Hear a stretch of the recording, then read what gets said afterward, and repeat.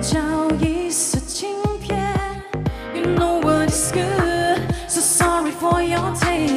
大猛兽乐园演唱完感受如何呢？太多年了，我们我觉得很多歌手都都有自己的一个舒适区嘛，就是你在自己的舒适区里面待久了，其实你是不知道自己好坏的。你你你永远在身边的工工作人员围绕着你是不会说真话的，就大家你不知道，就是反正你做你做你做你自己的，然后工作人员有的人可能不太懂，有的人可能只会说好，然后。呃，我觉得在在在这里面，就大家直观的。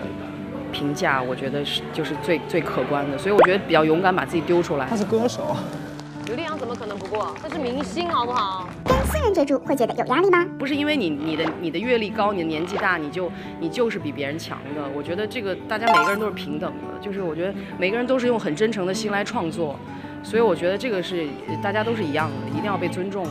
就作为一个学习者来，我觉得没有什么大不了，因为我我知道自己有不足，我也愿意承认这一点。我觉得人只有。这样才能够让自己不断的去提高，然后才能保持一个年轻的心态。否则的话，真的就是你就永远止步不前，永远在你自己的舒舒适区里面。或许你你这一辈子都活在自己世界里面，你都不知道外面还有那么大的天空。